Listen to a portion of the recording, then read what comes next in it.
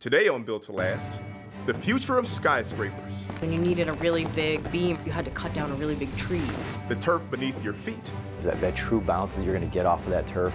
and that belongs in a museum. Everything in here has history, every could possibly be priceless.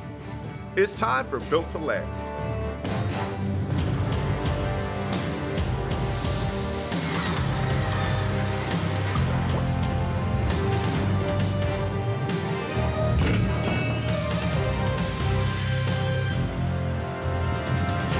Built to Last is brought to you by the Chicago Regional Council of Carpenters Labor and Management Committee and the Boy Scouts of America Pathway to Adventure Council. Welcome to Built to Last. I'm Monica Pedersen. And I'm Mark Nilsson. We're here at the Chicago Regional Council of Carpenters Apprenticeship and Training Center where future skilled carpenters learn their trade. Speaking of the future, sometimes innovation doesn't lead to what we expect, but it can still be exciting. The skyscrapers of tomorrow, for instance, won't be made of gleaming metal and glass, but of rich, strong wood. What about flying cars? They always said it'd be flying cars in the future. Yeah.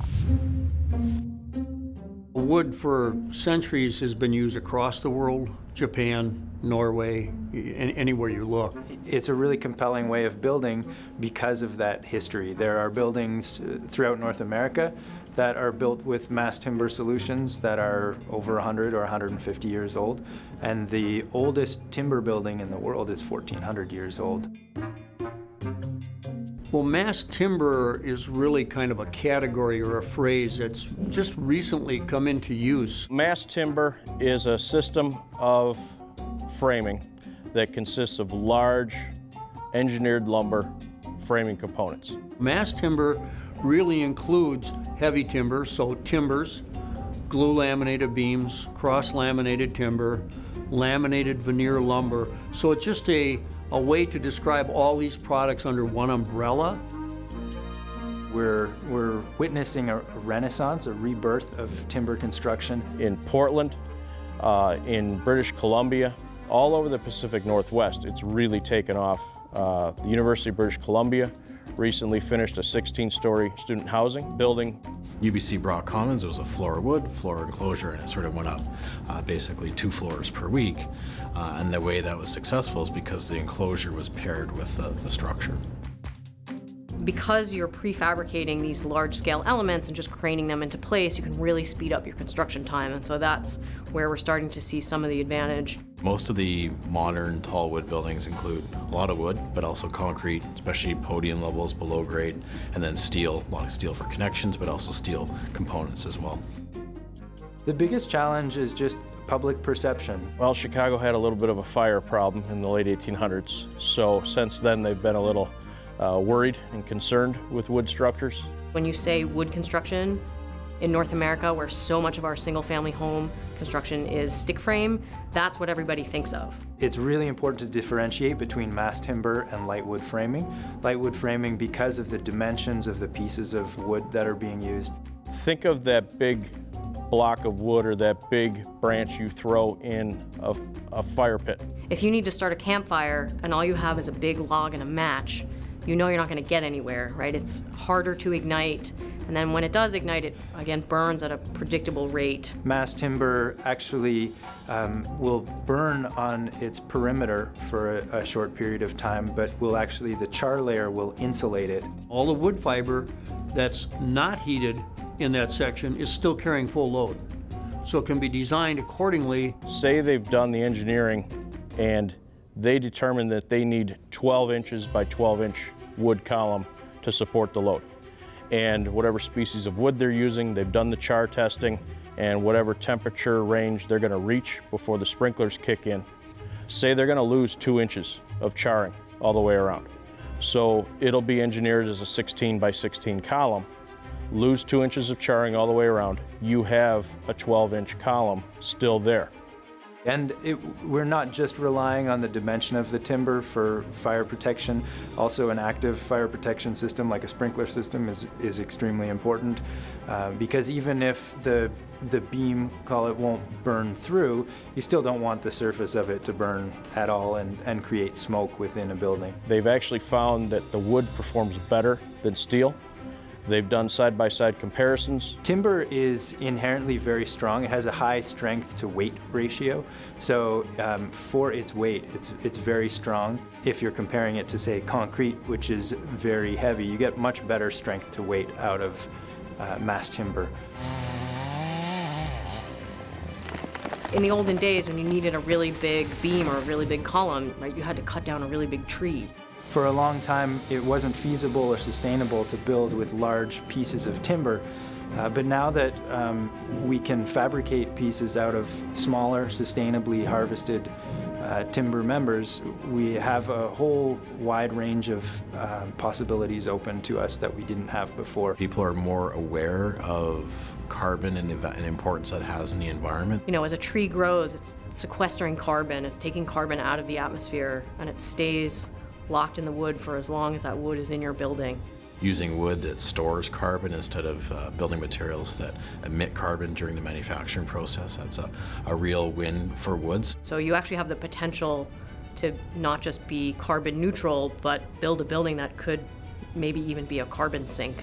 This is our bearing surface, so we want it nice and flat. The Carpenters Union, to me, one of the biggest things that they bring to the table is the education. Uh, in the Chicago area here, for instance, we have the training facility in Elk Grove Village, and they're just doing a fantastic job of trying to make sure these people that are coming into the trade really understand what they're doing and, and can they have the skills to go out and do the job properly. A lot of angles, a lot of geometry, um, and the biggest thing is learning the wood. I think we have the opportunity to create some really beautiful spaces. I mean, there's a reason everybody uses wood for their floors and their finishes. It's a beautiful, warm material that we like to be around and to see and to touch. There's a continuous race around the world to go taller, larger, faster. Um, I think we're going to see some amazing things out of mass timber in the next few years. Jean-Baptiste Point du Sable was the very first person that was non-native that settled in this region. Everything that we know of Chicago that's sprung up since then, we have Du Sable to thank for it. Every boy needs a foundation. A foundation he can stand on. To embrace opportunity. To overcome obstacles. Because this is the time to equip a boy with what he needs for where he's going. And where he's going is anywhere he wants. Keeping restaurants and hotels up to date with the latest design trends is a constant challenge. Finding qualified contractors isn't at finishingchicago.com. We work with top designers and general contractors who use the latest painting, drywall finishing, and wall covering techniques in Chicagoland's premier hotels and restaurants. The hospitality industry relies on finishingchicago.com as its free resource to find quality finishing contractors. For a great finish, start with finishingchicago.com. At Armstrong Ceiling and Wall Solutions, we take great pride in making a positive difference in the lives of people. With the broadest portfolio in the industry and the technical performance to back it up, you can design and install with confidence. Our ceiling construction expertise, training, and pre-engineered ceiling solutions make it easy for you to seamlessly transition from one end of the building to the other. Improve construction efficiencies and keep every job on time, on budget, and on the mark with Armstrong Ceiling and Wall Solutions. Faster, easier, better. The American journey has traversed both peaks and valleys. Sometimes our grandest achievements are built from the depths of our darkest moments. The DuSable Museum of African American History in Chicago stands proudly as a lesson of all we've done and all that we've yet to do. The DuSable History Museum began in um, the early 1960s as the Ebony Museum of Negro History and Art. But in 1968, that name was changed to the DuSable Museum of African American History because Jean-Baptiste Point DuSable was the very first person uh, that was non-native that settled in this region, had homestead, a business, and everything that we know of Chicago that's sprung up since then, we have DuSable to thank for it. Artist and social activist Dr. Margaret Burroughs originally set up the museum in the first floor of her house. The museum started as basically a grassroots passion project of Dr. Burroughs. You know, it, it, there was no grand vision when she began, but it has morphed into something amazing. In 1971, the museum relocated into the Daniel Burnham Design Building on the edge of Chicago's Washington Park. We are the oldest African American culture museum uh, in the country. We're very proud of that. We also want to want people to know that we serve a constituency outside of Chicago. Our collections, our programs are designed to talk about African American history and culture, not in the context of Chicago, not in the context of the south side of Chicago, but in the context of the world. One of my instructors at, uh, at our training school, he and I was talking about black history. And I had invited him to come out to the museum and see the museum because most people of other ethnicities may walk past the place but never come and see black history. He said, you know what, let's, let's, let's do this with the apprentices. And so uh, I gave him lunch over there, which was a nice soul food lunch. And a lot of people never ate soul food before. I, I think this is a great event. The more we know about each other and the more you know, you're the same as the next guy. We need to learn about each other so that we can learn to respect each other the individual that left us the most valuable part of this collection, James C. Hall, was a postal clerk. He was also a member of the National Federation of Postal Clerk. So he was a union man. And after lunch, they went on a tour. We'll be talking with you about uh, African American history. Some stories you may be familiar with, some stories maybe not. Today, people are extremely removed from the, the past. DuSable's father was a man of French descent. His father was a French mariner. His father actually took control of his life when he was a very young man and he was raised and educated in France uh, as a gentleman. So it's like mind blowing when people come here and they see this man of obvious African descent and all of the amazing things that he was able to do in a time when people like him, people of African descent, were marginalized, enslaved, victims. And the DuSable Museum shows you that. You basically get a timeline of where you came from, where you all went, and where you're going to. Our students was just excited about it. So to me, that was a success because it was, it was all about them learning. So this exhibit is called Red, White, Blue, and Black. It is the story of blacks in the armed forces. I'm a, a member of the museum. Remember when it, they didn't have as many exhibits. So this exhibit includes the Revolutionary War. It also includes the Civil War. To see the exhibit that they have put in around uh, black uh, veterans, uh, that's impressive to me. Exposure is really important, but exposure itself is not going to do that. The importance of a museum like this, education. Sometimes people just get a general idea from school, you know, you might have heard how this happened, that happened. Representation is everything. It really is. It it determines how we view ourselves. It's very important to the psyche. We know that after the colonies obtained their independence. Your empathy for me probably increases when you know where I came from, when you know the struggle that I had people who were enslaved and owned by other people. We are here to take the artifacts that we have, lay them bare, and tell the truths of history. This exhibit is called Freedom, Resistance, and the Journey Toward Equality. It starts with the transatlantic slave trade. Until you actually get visuals of some of the stuff that people had to go through, it kind of blows your mind and it, you know, you actually think about it way deeper than you ever have. The image in the far uh, corner there um, is actually a cross section of the hold of a slave ship. The dark marks, those are bodies of the slaves. And maybe it does go back to the issue of exposure, that our exposure to them, their exposure to us, I think is an educational process. We was looking at some of the deteriorated areas in the museum that just needed some cosmetic work and things done, but they don't have the funding to get it done. As a museum that depends very much on donations uh, to survive. Donations of money are very important, but donations of services are just as important. We committed to it being a, a, a long-term project that we would do with the museum. And when the union came in and said, not only will we come in here and do it, we'll bring the paint. I was overjoyed. What better place to advertise our apprenticeship program than to have our mark in the museum? The original DuSable Museum site had previously been a social club and boarding house for African American railroad workers. She gets to go home and say, hey, I got to gold leaf in a museum. I mean, how many people get to do that? Even as a, uh, a painter, I've been doing this 15 years, I never gold leafed in a museum. When you need a concrete contractor for your commercial project, you can't waste time waiting through countless unproven contractors who don't specialize in the job type you need or service your area. ConcreteIL.com lets you browse Northern Illinois' top contractors to find the perfect fit for your exact needs. You can filter our vetted list of contractors by both job type and location, and even request proposals directly through the site. Thinking commercial concrete? Think ConcreteIL.com. Meet the new family of Blaze laser measures from Bosch. Go ahead, turn it on and start measuring. It's that simple. The Blaze family offers a wide range of functions to tackle any measuring job. Extend your reach with accuracy up to a 16th of an inch. With Bluetooth-enabled devices, easily transfer measurements to your smartphone or tablet with free Bosch apps. Reach farther, work faster, and stay accurate with the Bosch Blaze family of laser measures. Measure on.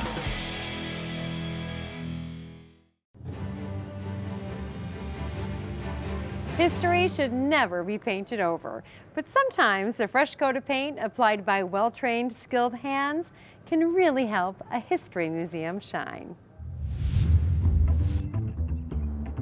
I am very proud to be working in this building. So it's a little intimidating, to be honest with you, coming into an area that's got priceless artifacts. This is the kind of stuff you're going to be doing when you're in the trade. Not every job is going to be inside of a bedroom or you know a house. I mean, we try to have a pep talk before we even come into the space and, and let our students know that, hey, listen, everything in here has history, everything in here could possibly be priceless. As we walk through this museum uh, with the union members, identifying projects that we take on, uh, their willingness to take on projects after, oh, well, they're not going to do that, especially because they're using apprentices. And they're saying, yes. I have full confidence in the students. You know what? Sometimes on a job site, they don't really get the chance to do the work. But as long as they have good direction, these students are fully capable of doing a nice job. Just check it, make sure you can reach all that there. We're here learning what's considered to be full finish, which is more towards the end of stages of school. The faculty has set up the apprentices to succeed by carefully scoping out the job. They come in, they look to see exactly what time, materials, and everything that'll be needed. And they normally have it here for us so that they can teach us on site. We come into the space, it doesn't matter if it's a small job, big job, quality control is always our first measure.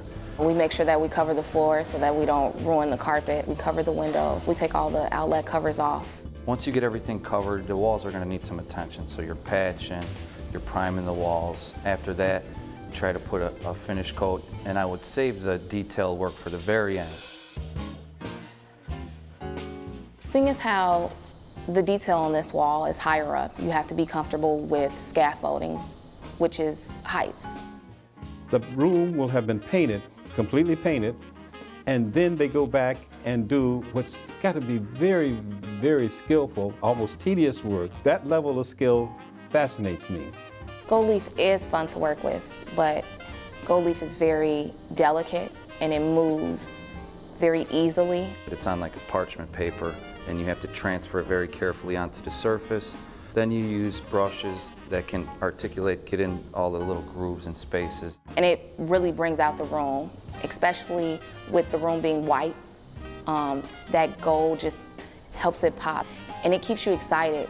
You realize that there's so many things that you can do. She gets to go home and say, hey, I got to gold leaf in a museum. I mean, how many people get to do that? Even as a, uh, a painter, I've been doing this 15 years, I never gold leafed in a museum. I feel like my teachers have trained me to be successful and do what I need to do. Um, and just their belief in me that I can goes a long way. It, it, makes me very proud to see the students do this job, and it makes me proud to see that they come out and do the entire job. With a little bit of direction from me, these students are fully capable, and it does it does bring a you know a smile to your face. The work that these people are doing here, the union and the painters, it's amazing, and it harkens back to the beginnings of this institution. People just coming in their own free time or their own accord to assist in helping Dr. Burroughs get this mission off of the ground, and that's I feel is what these painters and what the union are doing today. The money that it saves us can be used to do other things here at the museum. How it's important for us to have the connection with the union, not just the painters union, with other unions, that support is extremely important, especially in Chicago. We're a union town. I think it's dear to all of us. I'm a city of Chicago resident myself, and things like this, they really do humble you and, and, make you feel like you're a part of some of the community. Anytime that people are willing to come in and assist in this way, it, it, it's, it's something that's commendable. You understand immediately how important organizing and being together is. You see a resurgence of something that we saw in the 60s, early 70s, of people understanding that coming together as a group made them much more effective. So having people here that have the skill set to work on the masonry or the upkeep of the building is, is, is tantamount to the preservation of the objects that we have inside. It's good to know that you're working somewhere where a lot of people are going to be going through. You want to be proud of the work that you put out into the world. It is a beautiful job. You can look around and see like, wow, it's, it's nice. And it is art, absolutely it's art. And it, it fits right in here to the museum as well. The rubber pellets, they actually add to the absorption of uh, the biomechanics of, of the human body onto the field. Stabila lasers and levels, designed for contractors that perform high-risk layouts every day.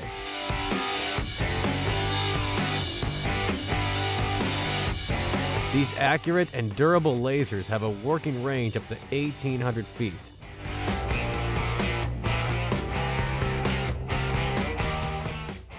Square your next job site with confidence. Stabila, how true pros measure.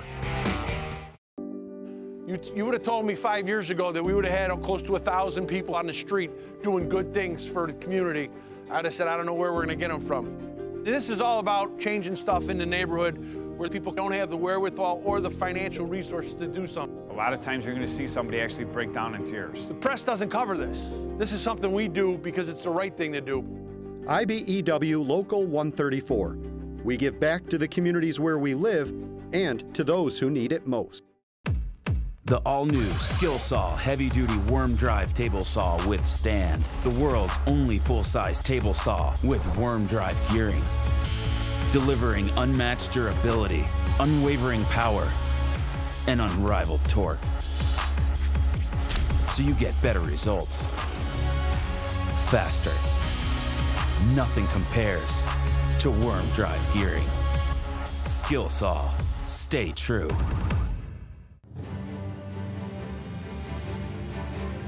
Welcome back to Built to Last. Now, you played a lot of sports growing up, didn't you, Mark? I sure did. A star athlete. Well, maybe average, but I have a lot of injuries to prove that. Well, carpenters and their partners are working to make one aspect of sports much safer.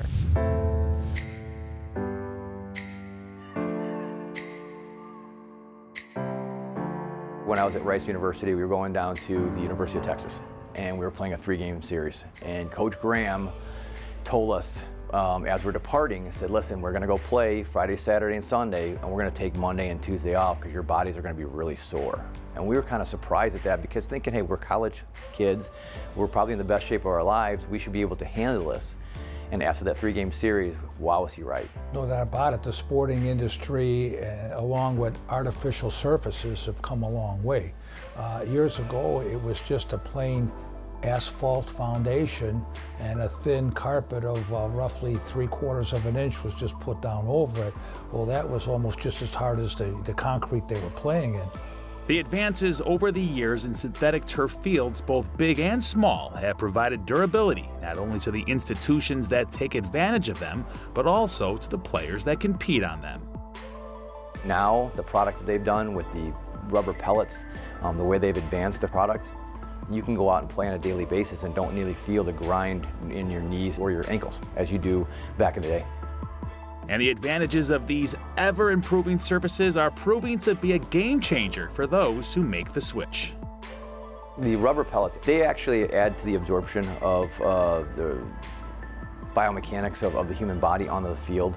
It's the rubber that will give, it's the foundation underneath it that will give. There's a lot less minor injuries on the turf because, you know, it's, it's a consistent surface. You don't have little potholes here and there across like a grass field where you might have divots. Every day there's probably thousands of ground balls or even balls that hit that turf and the resilience of that product to be able to withstand all of that work makes it beneficial for the kids because it's the safety issue of, again, of that, that true bounce that you're going to get off of that turf, the, to be able to read it. We are installing an artificial turf athletic field. In this case, it is a combination baseball and softball area uh, at Clemente High School. When you have a lot of sports now with uh, football, soccer, lacrosse, baseball, softball, a lot of multi-purpose type use fields, it's very difficult for natural grass to handle that. Now, there's very few restrictions as to you know, when they can be out on these fields practicing, playing, exercising. Training is very important that they all work as a team. Generally, we're working eight to 10 guys uh, as a group out on the field. You have the gravel base on the field, and then we put down a half inch pad on the field that helps for padding and then helps take out any dips on the field. We roll the carpet out, we sew the seams together, and then after all the lines are cut, all the inserts are done, we come with a sweeper that sweeps all the fibers up, and then a spreader comes and spreads the sand out, and then there's a layer of sand on the bottom with a layer of rubber on top to help even more padding. Right off the bat, you have to know that one of the more, most important things is to make sure it's safe. If someone's gonna walk on it, play on it, we try and make sure that like the base on the field is all nice and flat. And there's no imperfections. There's not going to be any dips where they're going to lose their footing. All the seams line up on the turf well. There's no overlaps where it could create a tripping hazard. We use a lot of uh, nails, 14 inch nails, and we have to make sure none of them are in the ground. Definitely a good sense of pride knowing that just quality craftsmanship on the field for them. There have been other schools that they've put down the, the wrong bedding. Those turf fields had to be torn up and redone. So you need to you know, make sure you get a quality company in there that has a good reputation that's done that before. Some of the fields that uh, I've helped install, you know, you drive by and you see the kids playing on it. Oh, it's, it's a good feeling. There were tons of workers here for that, you know, three or four month stint that they put everything together, including the track. So, I mean, it was a, major going through a major overhaul of this area. And it's something that everyone has a little bit of pride in and you know they enjoy the facility whenever they get a chance to use it. Especially knowing if a union shop put it in, just knowing that we put it in, it's, it's our work. That's all for this episode of Built to Last. And check us out on Twitter, Facebook, and Instagram. We'll see you next time. Monica, do you think my performance was a little wooden today? A little wooden? Mm-hmm.